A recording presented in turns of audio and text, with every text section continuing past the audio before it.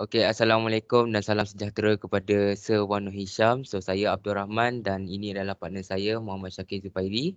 So, kami ingin membentangkan mengenai untuk Lab 1 bagi DAQ Teknologi and Analysis 2. So, saya straight to the point. So, dalam lab ini kami akan menggunakan uh, WeMOS uh, D1R1. Uh, Espresso Light kami tak gunakan. So, selain itu, kami akan melibatkan komponen LM35 sensor, DHT sensor, LED potentiometer uh, serta breadboard lah. So terus kepada prosedur untuk lab ini okey untuk part 1 uh, digital input dan output. So untuk digital input dan output part 1 ini first of all kami uh, membuat satu communication di antara microcontroller bersama dengan circuit yang kami gunakan And then uh, selepas itu uh, kami buat satu suitable coding di mana dia boleh on off kan LED tersebut selama satu saat, off pun satu saat. Dan selepas kami siapkan uh, first step, untuk second step kami membuat menggunakan dua LED. Bermakna kami tambahkan satu lagi LED. And then uh, apabila dah tambah satu lagi LED, kami akan kira uh, dapat hasil yang secara uh, take, uh, secara ber, beratur lah. Uh, bermakna LED satu nyala satu saat lepas tu dia tutup kemudian LED dua nyala satu saat dan dia tutup lagi. So saya tunjukkan dia punya hasil untuk lab 1. So ini adalah hasil untuk uh, lab 1 kami. So ini adalah circuit yang kami gunakan. So nampak ada satu LED untuk first step tadi. And then ini adalah coding yang kami gunakan uh, bina lah. So dalam coding ini kami guna dua platform iaitu Arduino IDE bersama dengan IO platform. So dalam dua uh, platform ini coding dua-dua sama. Hanya perbezaan di antara platform IO dengan platform Arduino adalah dari segi setup. So saya tunjuk video untuk uh, part 1 step 1. So itu apa dia on satu saat, off pun satu saat. Then kemudian uh, untuk step 2 iaitu tambah satu lagi LED. So ia akan uh, berfungsi secara bersusun. So merah nyala dulu, lepas tu bila dia off, hijau nyala dahulu. So saya tunjuk video yang seterusnya untuk step 2. Okay, dalam video ni saya nampak nyala satu.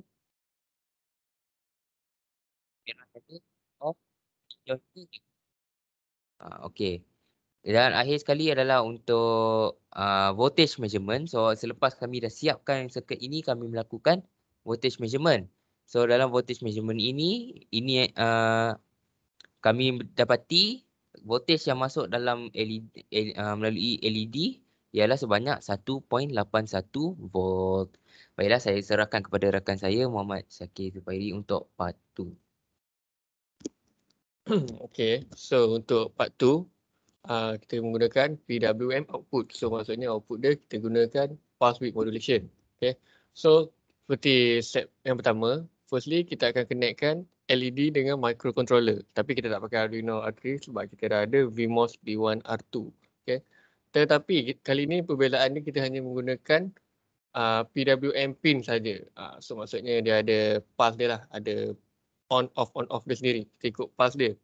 Okay. Dan kita akan tambahkan pula dengan uh, resistor 220 ohm antara LED tu. Uh, kenapa kita tambah dia punya resistor sebab kita tak nak elakkan daripada LED tu terbakar.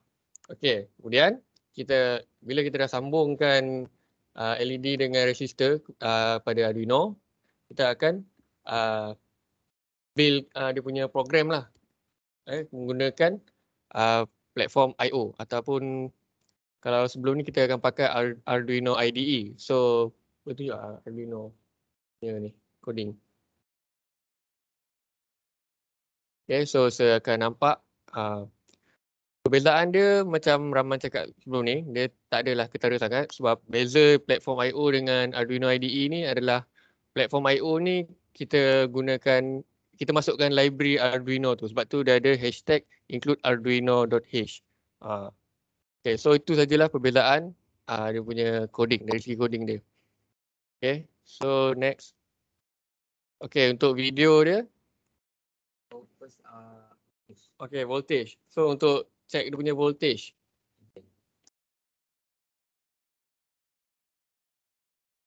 Part, part two.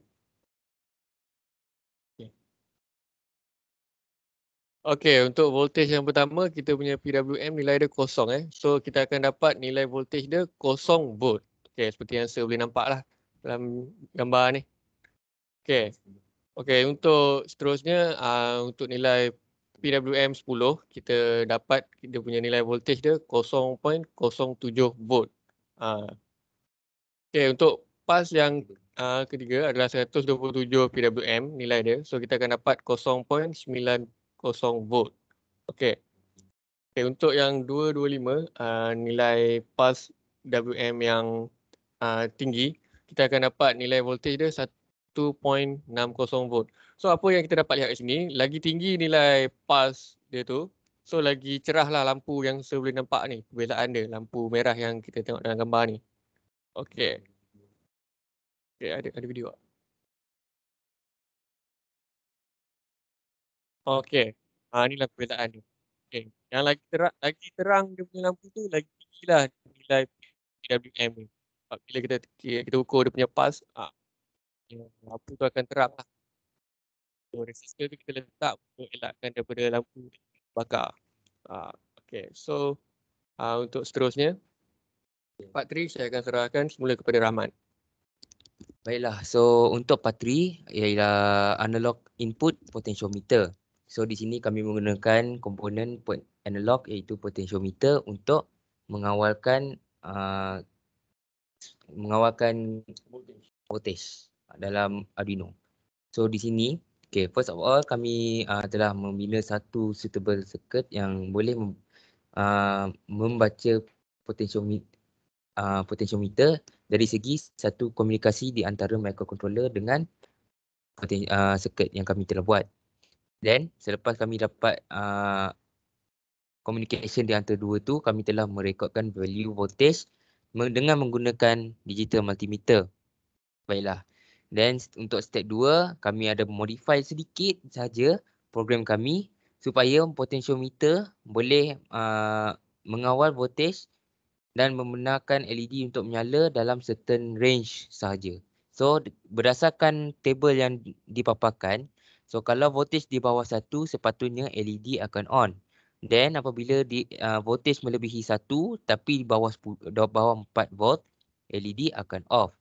Dan seterusnya apabila dia dah melebihi 4 volt LED akan kembali on. So di sini saya tunjukkan sedikit uh, video eh sedikit gambar. Ya. Ini PWM tadi. Okay. So ini adalah first of all adalah circuit yang kami telah bina. Then untuk untuk coding kami macam biasa menggunakan platform Arduino IDE dengan platform IO. Coding dia dua-dua sama. And then untuk result okay apabila dia bawah 1 volt apa yang saya nampak uh, LED menyala. And then apabila voltage di antara 1 hingga 4 LED uh, off. And then last kali apabila voltage um, lebih daripada 4 uh, LED akan on. So saya tunjuk sedikit video. So untuk part 3 uh, below 1 uh, uh, okay. So ni adalah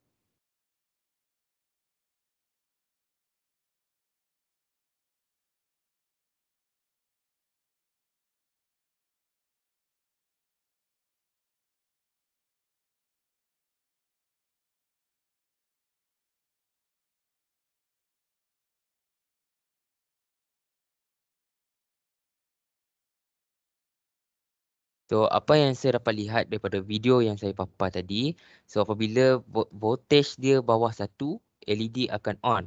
And then semakin saya putarkan potentiometer tu, increasekan, apabila dia melebihi satu volt tadi, dia off. Then apabila dia off, uh, apabila voltage tu melebihi lagi 4 volt, uh, dia akan on balik LED. Okay. So itu adalah untuk part 3.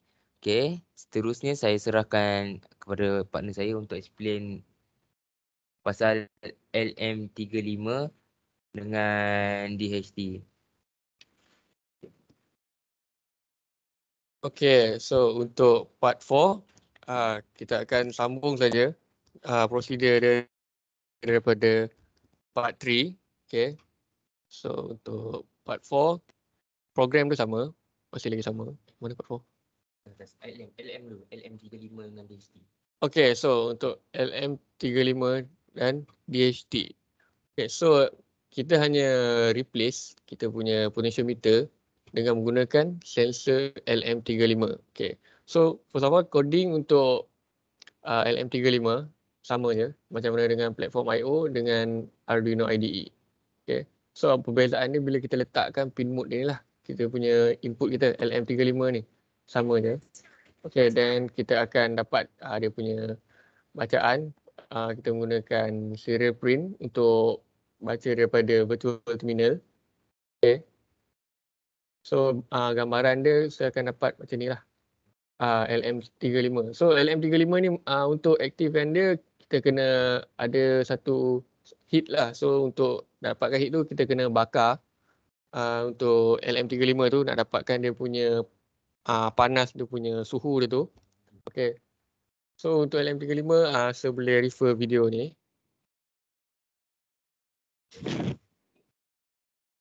Ada lagu pula. Okay, so uh, macam mana saya cakap tadi, ada serial monitor. Kita gunakan serial print line tadi. So COM7 adalah COM Arduino kita. So dia akan display kan berapa suhu yang ada pada LM35 tu. Kalau kita tak bakar, so dia akan normal lah. So lagi kita bakar, dia akan naikkan suhu tu and aktifkan ber, berikut kita punya ni lah program kita. Uh, okay. So, Sangkut okay, pula. so dia untuk DHT. Okay, so untuk DHT, Bagi- saya bagi kepada Rahman eh. So untuk DHT sensor, so DHT sensor ni apa beza dia dengan LM35? DHT sensor kita dapat uh, reading untuk humidity bilik. Untuk LM tadi hanya suhu. Tapi untuk DHT dia ada tambahan humidity uh, sekali. Boleh baca Ah. sensor lah. So dia boleh baca dua dia ada dua sensor lah kira. So dalam uh, DHT sensor ni kami telah uh, first of all download dia punya library sendiri sebab tanpa ada library DHT sendiri DHT takkan berfungsi dia tak dapat read tak ada pathway. And then uh, kami gunakan uh, plot untuk uh, displaykan temperature dengan humidity. Then uh, dalam IO platform pun sama juga. Kami gunakan coding yang sama juga. Kecuali DHT uh, dia kena set up semu, uh, semula library untuk pathway DHT uh, dalam IO. So ini adalah result dia. So seperti yang dalam gambar ni saya nampak dia tunjuk humidity 71% dalam bilik. Tetapi temperature dia sentiasa naik atau turun sebab dalam bilik dia punya temperature tak stable. Uh, uh. So saya tunjuk sedikit video di untuk DHT sensor reading. Uh, so ni adalah DHT. So saya cuba bakar untuk increase temperature. So apa yang saya nampak, uh, temperature dia naik, semakin naik. And then humidity dia akan naik dan turun sebab humidity dia tidak kekal sama. Okay, baiklah. So last kali adalah berkenaan dengan part 4 iaitu Nissan LabVIEW. So Nissan LabVIEW ni lebih kepada sambungan kepada part 3. Hanya kita um, gunakan LabVIEW ini untuk displaykan apa yang Output voltage dia. uh, output volt, uh, voltage output daripada sensor uh, terima. Dia akan tunjukkan dalam display Ada tu. front panel dia. So saya serahkan kepada saya untuk explain yang part last kali ini. Sekian, terima kasih. Okay sir, untuk part 4 kita boleh sambungkan saja dia punya uh, prosedur dia. Beza dia kita letak uh, display daripada LabVIEW. So, kat LabVIEW. Okay. Okay, so untuk LabVIEW, ni dah boleh? Dah boleh? Okay, untuk block diagram kita set up uh, dia punya uh, litar dia. Okay, sama je. Kalau macam saya tengok sebelum ni. kita still pakai Visa Resource Name sebagai kita punya source. Baud rate kita ikut baud rate Arduino kita lah. Kalau ni dia pakai uh, serat, 115. 115 uh, 200. Okay. Baud rate dia. So kita akan sambung kepada Visa read untuk read dia punya output and kita tak pakai open sebab kita tak ada sensor. Sensor kita by Arduino saja. Okay, dan kita close. Okay, untuk dapatkan reading dia, kita akan sambung kepada meter. Meter yang akan displaykan berapa voltage dia. Okay. Dan kita akan pakai fraction uh, XP string to number. So uh, daripada uh, string tu kita akan convert to number. Okay. Dan kita akan bagi nilai voltage uh, ni. Kalau ikutkan dia punya ni. Uh, numeric uh, indicator dia voltage volt. Okay. So yang ini kita akan buat uh, kurang. Eh, kurang ataupun sama daripada satu. Uh, yang ini kita akan buat kurang daripada ataupun satu uh, kurang ataupun sama daripada empat. And ni kita akan buat uh, not equal. Uh, 4, 4 atau 4 atau lebih, sorry. Uh, lebih ataupun sama dengan 4. Uh, lepas tu kita akan sambungkan dengan not equal lah. Uh, so kita akan, uh, macam mana kita nak uh, indicate dia, kita nak detect dia, kita guna uh, LED punya output. Okay, so ini untuk uh, ini string indicator kita, kita akan ada LED on, LED off. And then kita akan pecahkan jadi masuk ke LED indicator. Okay, so untuk part 4 saya akan tunjuk uh, secara live eh. Okay, boleh. Okay, so ni dah, dah boleh. Dah boleh ni belum? Okay, okay, dah. Okay, so uh, uh, seperti mana saya boleh nampak, boleh nampak kamera? Okay, so kita akan naikkan uh, dia punya voltage. Okay, lampu akan menyala. Sebab dia satu dan uh, satu dan kurang daripada satu. So bila dia naik daripada satu, lampu dia akan padam. Okay, so bacaan kita akan dapat sini 1.2827 macam tu. So dia still lagi kurang daripada, uh, lebih daripada satu. So kita akan naikkan lagi voltage dia sehingga ke 4 volt. Okay, 2 masih off. Okay, 3 pun masih off. Sehinggalah dia mencecah 4 volt. Okay, so bila 4 volt kat sini, uh, saya boleh nampak LED dia on semula eh sebab kita punya program uh, 4 ataupun lebih daripada 4 LED akan on. Okay, 4, 5 so LED akan berterusan on. As long dia lebih daripada 4. Okay, so untuk reset kita akan stop button lah. Uh, kita stop. Okay, so itu saja untuk part 4. So kesimpulan daripada apa yang kami fahami daripada lab 1 ini. So first of all, uh, kami telah pelajari uh, bagaimana untuk menggunakan WeMOS uh, dari segi dalam dua platform uh, iaitu platform Arduino IDE dengan platform I.O.